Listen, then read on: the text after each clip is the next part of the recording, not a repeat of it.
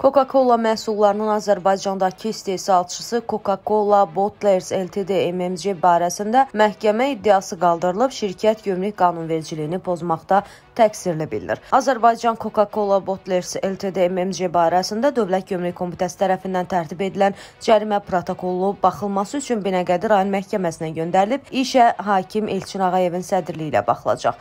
Qanun pozma faktı ilə məhkəmə qaydasında təsdiqini taparsa, şirkəti cərimə cəzası icrası gözləyir. Qeyd edək ki, Coca-Cola işçilərinin Azərbaycandakı istehsalçısı 1996-cı ildən fəaliyyət göstərir. Bundan başqa Fanta, Sprite və Banaqa içkiləri də məhz həmin şirkət tərəfindən Azərbaycan bazarına çıxarılır.